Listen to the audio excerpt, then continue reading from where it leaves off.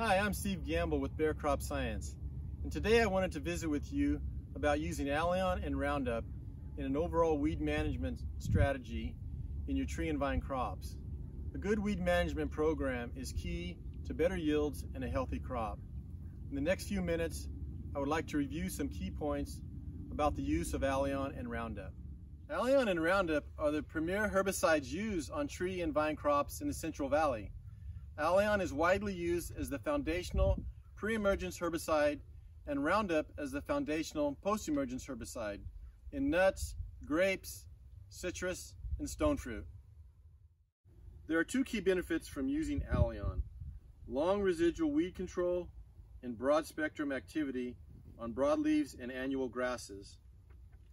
Alion controls problematic weeds such as fleabane, mare's tail, jungle rice, and Italian ryegrass, plus many others. Growers can use Alion as a standalone herbicide or it can be used in a tank mix combination with other pre-emergence herbicides depending on the weed situation. Tank mixes may be used for resistance management purposes or to increase the spectrum of weed control.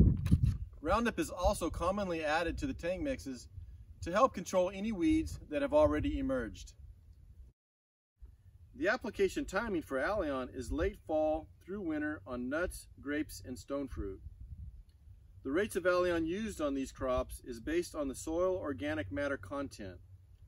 On soils with less than 1% organic matter, the rate is 3.5 ounces per acre, and on soils with more than 1% organic matter, you can use up to 5 or 6.5 ounces per acre, depending on the crop.